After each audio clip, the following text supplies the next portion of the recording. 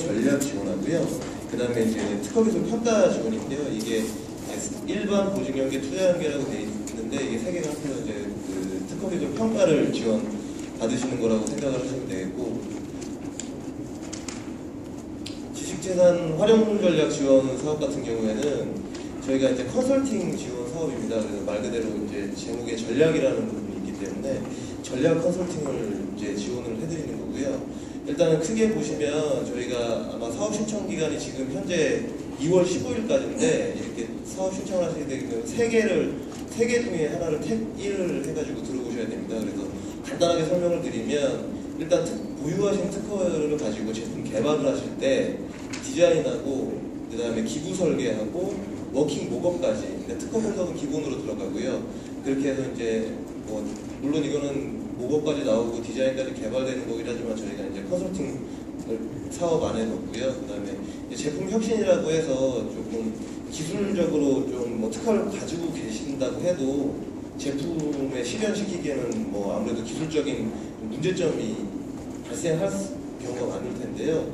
그때 이제 그 기술적인 문제점을 조금 뭐 다양한 방법들을 제시를 해서 음, 그 컨설팅을 좀 해드리는 거고요. 해결 방법을. 그리고 IP 경영 전략 같은 경우에는 저희가 이제 계속 해오던 사업인데 특허 경영이라는 요즘에 그 말들을 많이 쓰는데 이제 보유하고 계신 특허를 어떻게 하면 이제 경영 성과하고 연결을 시킬 수 있을지를 컨설팅 해드리는 사업이고 그래서 이제 뭐 특허를 가지고 신규 사업을 좀 진출해 보시겠다 아니면 어, 해외 시장에 특허를 가지고 특허 제품을 좀 수출하고 싶은데 뭐 출원 전략이라든지 아니면 그쪽 해외 시장에 뭐그 경쟁사의 뭐 특허 현황이라든지 이런 걸 좀 분석을 해서 컨설팅을 해드리는 사업이라고 그 생각하시면 되겠고요.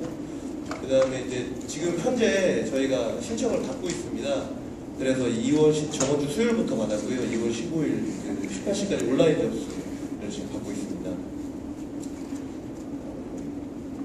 그, 그 특허 기술 평가 지원 같은 경우에는 이제 그 특허를 가지고 계시면 그게 사업, 사업성이 어떻게 되는지 그 다음에 그 특허의 가치가 얼마나 되는지 뭐 평가를 받아보실 수가 있는데요.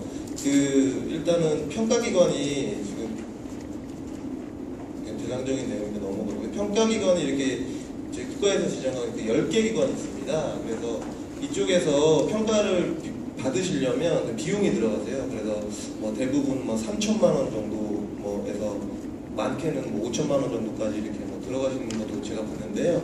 일단 70% 한도 내에서 그 평가 수수료, 그러니까 평가 이 뭐 이런 제, 평가 기관에 가셔서 평가를 받으시는 대한 대한 그 수수료를 70%까지 지원해드리고요. 어, 그 다음에 이제 보증연계 같은 경우에는 여기 이제 기술보증기금도 아까 전에 보니까 저기 상담부스에 계시는 것 같은데 이제 기술보증기금에 그 보증을 받으실 때 발명진흥회하고 이제 같이 수행 그 발명진흥회에서 이제 특허 기술 보증 기금이 수행하는 가치 평가에 대해서 이제 평가 수수료를 지원하는 거고요.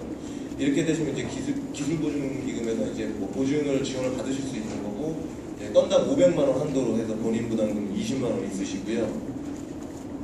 그래서 이거 보증 연계 같은 경우에는 사실은 저희가 발명진흥회에서 이제 기술보증기금의 그 평가 비용 만 지원을 하고 모든 프로세스는 다 기술보증기금에서 이루어지기 때문에 직접 기- 기술보증기금 쪽에 상담하시는 게 가장 빠르십니다. 그리고 다음 그리고 지금은 2월 1일부터 이제 수시 접수입니다. 기술보증기금에 2월달 넘으셔서 방문하셔가지고 관심 있으신 경우에 상담을 받으셔서 하시면 수시 접수이기 때문에 거의 연말까지 계속 이루어지신다고 생각을 하시면 됩니다.